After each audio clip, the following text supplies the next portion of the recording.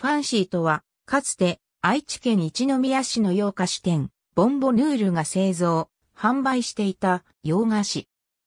製造に関わった職人によってアレンジされて主に愛知県内で広く販売されており、同じ形状の洋菓子がパリジャン、ピレーネ等の複数の呼び名で販売されている。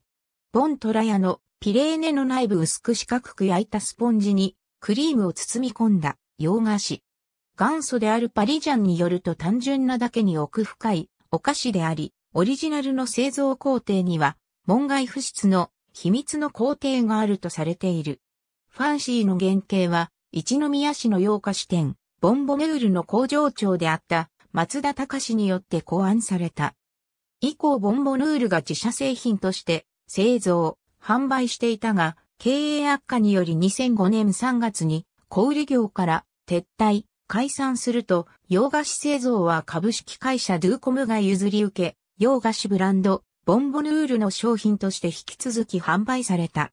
2011年9月26日、ドゥーコムは資金繰り逼迫により破産したためオリジナルのファンシーは消滅した。ファンシーを考案した松田隆は1975年に蟹江町で洋菓子店パリジャンを開店、ファンシーと同じ形状の商品、パリジャンを販売していた。ボンボヌール時代の仲間、パリジャンで修行した弟子が出店、独立する際にも製法が引き継がれ、各店でアレンジを加えながら、愛知県内の10店舗以上に広まった。看板商品として、販売店名を冠した商品も多く、主要なものは以下の通り。パリジャンから派生した店舗で修行した弟子らによって、さらに製法は引き継がれ、同じ形状の商品は岐阜県や三重県など愛知県外にも広がっている。ただしパリジャンによると、これら類似商品の中には、ボンボヌールやパリジャンとは全く関わりのない店舗で販売されている例もあり、形状がシンプルなため真似しやすいのではないかとしている。似た形状の商品は2016年頃にモンテールがふわふわファンシーの名称で山崎製パンがふわふわケーキの名称で商品を製造、販売していた ABCDEF 愛知ではメジャーなこの洋菓子でも人によって呼び方がバラバラだった。謎の先にいた職人。ニュースワン東海テレビ。2010年1月20日閲覧。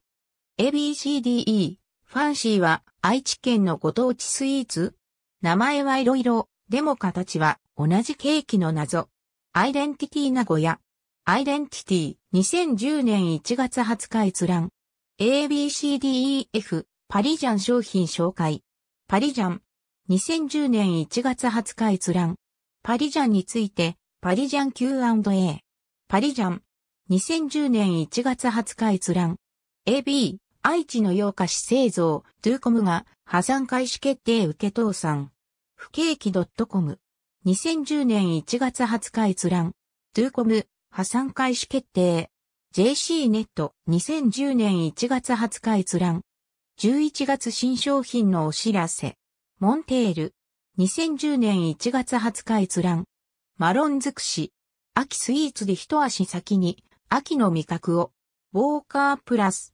株式会社角川2010年1月20日閲覧。ありがとうございます。